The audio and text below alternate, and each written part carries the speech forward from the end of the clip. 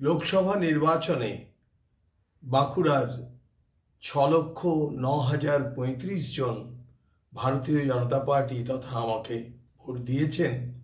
আমি তাদের সকলকে ধন্যবাদ জ্ঞাপন করছি।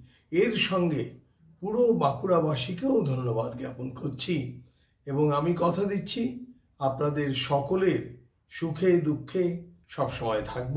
সবাই খুব ভালো থাকবেন।